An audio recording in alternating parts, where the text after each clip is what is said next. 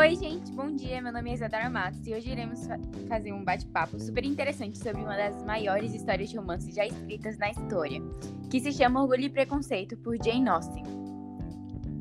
E eu, Gustavo, juntamente com a Beatriz Costa, vou justamente falar e discorrer um pouco sobre a questão do resumo da obra e como ela retrata diversas questões morais e faz diversas críticas sobre o contexto da época em sua obra. Eu sou Isadora Max e eu vou falar alguns, algumas séries e filmes que se baseiam ou que citam essa obra. Oiê, eu sou a Gabriela e vou falar algumas curiosidades sobre a obra e a autora. Oi, gente, meu nome é Beatriz e como o Gustavo já disse, eu irei auxiliar a ele a falar um pouquinho sobre o resumo da obra e irei falar algumas coisas que eu percebi entre a diferença entre o filme e a história.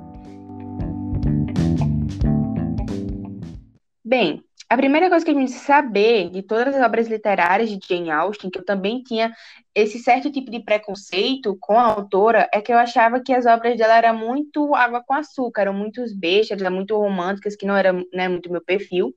Mas quando eu acabei a leitura, eu percebi que a maioria de suas obras, após pesquisar, ela traz uma crítica social por trás. Então, isso não foi muito importante para a época e que eu irei falar a crítica que o livro aborda um pouquinho mais na frente. Bem, a primeira coisa que a gente precisa saber sobre Orgulho e Preconceito, que ela se passa no século XVIII, no condado da Inglaterra, e que o centro da história é a família Bennet, tanto que a personagem principal é Elizabeth Bennet, que é a segunda filha mais velha do casal Bennet, que ele tem ao todo cinco filhas.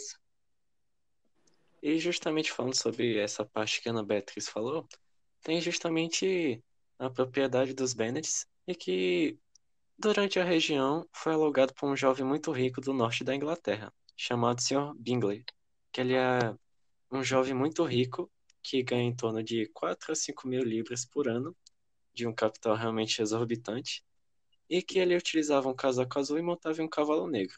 E justamente ele alugou uma propriedade vizinha dos Bennets, que era até uma propriedade do Sr. Morris, e justamente ele se muda para lá. E falando sobre a família dos Bennets, tem o senhor e a senhora Bennet. A senhora Bennet, ela tem como uma senhora de idade avançada, ela tem como objetivo casar suas filhas, por causa que no contexto da época era predominantemente casamentos arranjados e que tinham muito valor mais pelo dinheiro e pelos status do que de fato um, laços afetivos. E também o senhor Bennett, que ele era, tipo, bem sarcástico e de... bem irônico, assim, e que ele tinha a filha predileta, a Alice. E justamente ele fica um pouco desconfiado da chegada do Sr. Bingley e não aceita de primeira sob a convite da senhora Long, que também é vizinha dos Bennets, e justamente ele tenta passar. E sua esposa gostaria que ele fosse para justamente que pudesse entender os gostos do jovem que havia chegado por lá, para que pudesse para que ele pudesse escolher uma de suas filhas para que ele se casasse. Bem, como disse Gustavo, a senhora Bennet, que era mãe das cinco filhas, era uma pessoa que se importava muito em casá-las. Então, quando o senhor Bingle chegou à cidade, foi como um pote de ouro para ela. Ela ficou muito feliz, até que, junto com sua amiga, ela teve a ideia de fazer um baile para, querendo não, apresentar ele à sociedade e tudo mais do condado. Mas ele teve, ele aceitou, ficou super feliz, mas ele teve que acabar voltando para sua cidade natal. Algo que preocupou muito a senhora Bennet, porque ela achava que seria para pegar seus, seus, suas pretendentes, mas na realidade foi para pegar suas sete irmãs e seu melhor amigo, o senhor Darcy. Quando chegaram ao baile, é, a senhora Bennet ela teve um certo tipo de alívio ao perceber que ele só trouxe suas irmãs e um certo tipo de surpresa, uma surpresa boa, porque ele trouxe é, juntamente com ele o senhor Darcy, querendo ou não um novo pretendente para suas filhas. E o senhor Darcy, ele era melhor amigo do senhor Bico, então isso já era algo muito positivo. Era uma pessoa alta e elegante, ele tinha belos traços e sua renda chegava a 10 mil por ano. Então isso na época era algo muito bom, querendo ou não. Mas em compensação, no decorrer do baile, eles perceberam que o senhor Darcy, ele era uma pessoa arrogante, orgulhosa e se considerava superior a todo mundo. Eu não vou mentir que no início do livro, quando eu... uma pessoa que eu tive muita raiva, porque desde o início a Lisa foi minha, minha predileta na história, e ele disse, quando estava tendo a discussão entre ele e o Sr. Bingle, disse que não dançaria com a Lisa, porque ela é no máximo aceitável, e as únicas bonitas são suas cinco irmãs, que já estavam todas comprometidas, e Jane, que era mais velha, que já estava tendo, querendo ou não, um romance ali com o Sr. Bingle, e obviamente ele não iria furar o olho do amigo, né? Mas após um tempo de convivência com ele se admite estar completamente apaixonado por ela. Obviamente, ele não admitiu, vamos dizer assim, para a sociedade, mas ele admitiu para si mesmo. Mas a Lisa, ela continuava a dizer que não gostava dele, porque ele era um homem muito orgulhoso e arrogante e que isso não fazia parte dos princípios dela.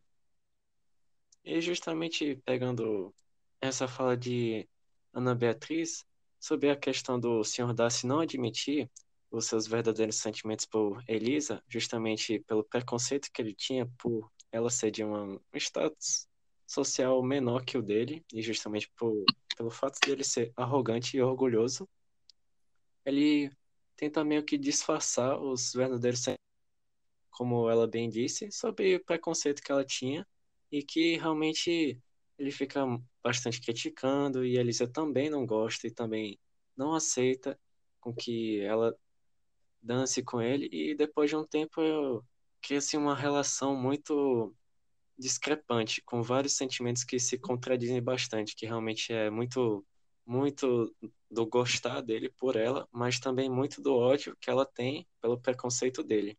E principalmente fica nesse jogo de contradição que realmente dá uma dá uma certa confusão assim, realmente muita contradição assim, que realmente ela não está afim, mas ele está. E justamente depois de um tempo, ele meio que toma vergonha na cara e decide de fato falar o que ele sentia e pede ela em casamento, mas ela recusa. Como o Gustavo já disse, é, Elisa ou Lisa, tanto faz, é Elizabeth, é, ela recusa porque apesar dela estar apaixonada por ele, ela ainda acha ele uma pessoa muito arrogante. Então isso não fazia parte dos seus princípios, como eu já disse. Então a relação entre eles dois era meio com um misto de sentimentos muito grande, porque tinha um amor muito grande, mas tinha um, um orgulho em ambas as partes. Após um tempo, Elisa recebe uma carta do Sr. Darcy explicando suas atitudes, e também foi na época que mais ou menos eu comecei a gostar do Sr. Darcy, porque ele realmente admitiu, vamos dizer assim, seus atos, e ela admite estar apaixonada pelo Sr. Darcy, então é algo que eu fiquei muito feliz. E o Sr. Darcy foi uma pessoa que nunca desistiu de Elisa, então a gente realmente percebe que ele estava muito apaixonado por ela, e ele pede de novo novamente ela e novamente em casamento, e ela acaba aceitando. Então os dois vivem felizes para sempre em Pemberley. Agora vamos para as curiosidades. Vocês sabiam que a primeira tentativa da autora a publicar o livro foi no ano de 1797, quando ela ainda tinha 21 anos. Porém, a obra toda revisada e encadenada só chegou à mão do público 16 anos depois, em 1813. E quando a obra foi publicada, o nome da autora não foi citado. As únicas informações disponibilizadas foi que o livro foi escrito pela mesma autora de Razão e Sensibilidade. A sua verdadeira identidade, como sabemos que é Jane Austen, só foi divulgada após sua morte. A relação que a protagonista tem com a sua irmã Jane é inspirada na relação da autora com a irmã. O primeiro nome dado à obra não foi Orgulho e Preconceito, foi Primeira Impressão. Tem até uma cena no filme onde Lizzie aparece segurando um livro com esse título. Falando do filme, para você que viu ou vai ver, é importante saber que a versão americana possui um final diferente da versão britânica. Não tem muita diferença, na versão americana, aparece Liz e Darcy no final, na varanda, discutindo sobre seu futuro juntos. E na versão britânica, apenas aparecem os dois prometendo que vão se casar. A obra também já foi adaptada mais de 100 vezes, porém são 11 delas para TV e cinema. E por último, não se sabe qual a verdadeira face da obra, tendo apenas um quadro seu que se contradiz com as inúmeras descrições encontradas. Bom, como a obra Orgulho e Preconceito é bastante famosa e um clássico da leitura, muitas outras séries e filmes citaram ou até mesmo se inspiraram nesse clássico. Um dos exemplos é Alexia Kate, produzida pela Netflix, uma série que fala sobre duas melhores amigas que estão extremamente ansiosas para chegar ao ensino médio. Mas elas realmente não contavam que aos 14 anos iam descobrir que Alexia tinha leucemia Essa série faz menção ao orgulho e preconceito quando o irmão mais velho de Alexa, Lucas, tem que fazer um trabalho na, da escola sobre um clássico literário. Como ele não possui o costume de ler, ele pergunta à irmã quais eram os clássicos da leitura e ela cita a obra de Jane Austen. Logo depois, nós podemos citar o episódio 11 da temporada 4 de Legend of Tomorrow, que é inteiramente dedicado a Jane Austen, autora de Orgulho e Preconceito. A série Legend se trata de um grupo de heróis que viajam pelo tempo na Wave Rider, lutando contra vilões já conhecidos do Arrowverse, o universo de super-heróis da DC, como Ilbert Town, Malcolm Merlin e Damien Dark. O grupo de heróis passa por diversas mudanças ao longo da série, apesar de Sarah Lance, a Canário Branco, permanecer sendo capitã desde a segunda temporada. Bridgerton. Bridgerton é uma série de romance da época que relata sobre oito irmãos que são inseparáveis e buscam o amor e felicidade na alta sociedade de Londres. Que, por acaso, essa série é inspirada nesse clássico da leitura.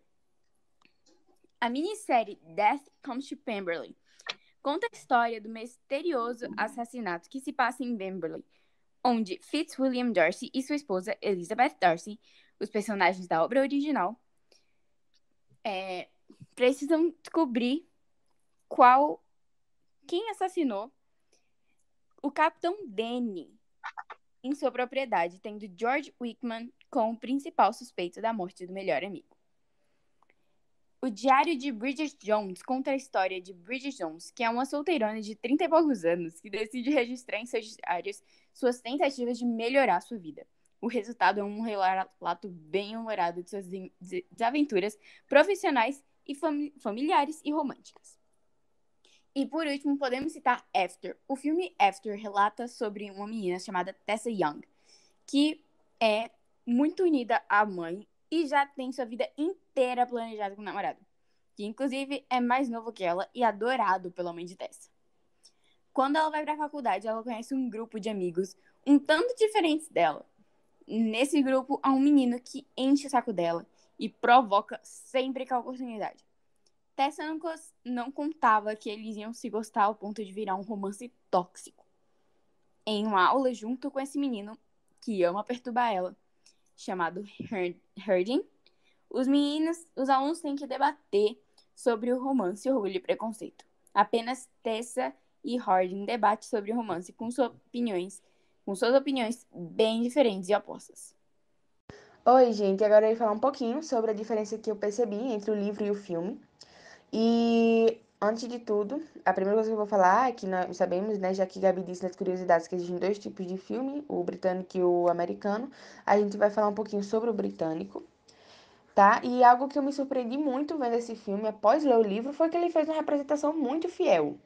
Então, muitos trechos que eram do próprio livro foram utilizados no filme, igual, igual como estava no livro, foram transcritos da mesma forma para o filme, como tendo como exemplo a fala do Sr. Darcy com o Sr. Bingo no baile, falando sobre Elizabeth.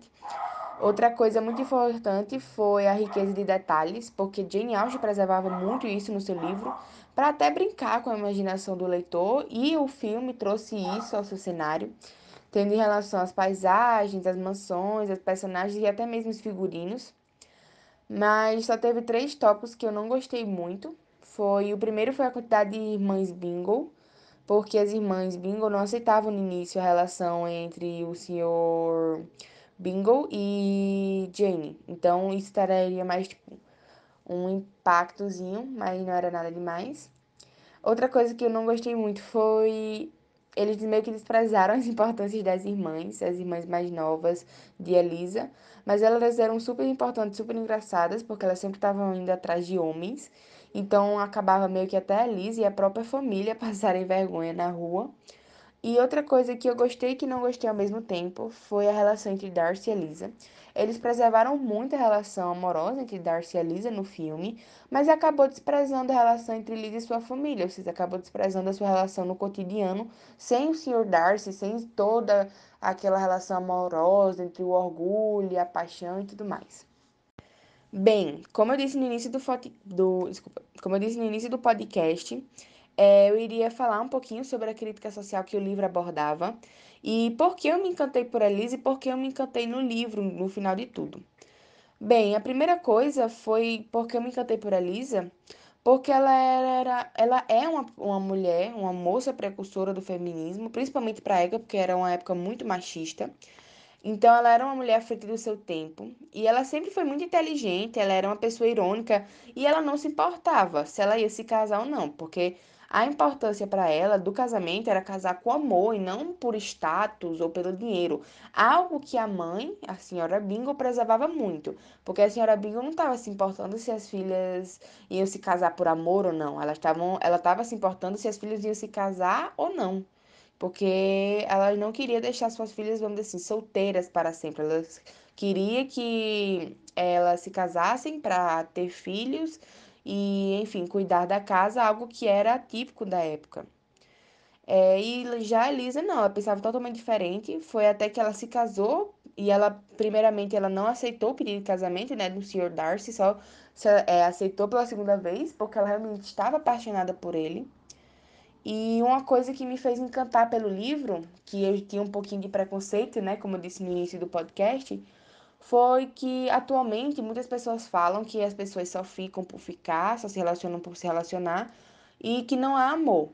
E que na época, nas épocas passadas, sim, que ocorria amor, que as pessoas eram apaixonadas e tudo mais. Mas na realidade, com esse livro, a gente percebe que era totalmente diferente do que a gente imagina atualmente, ou que a gente tem a percepção do que era.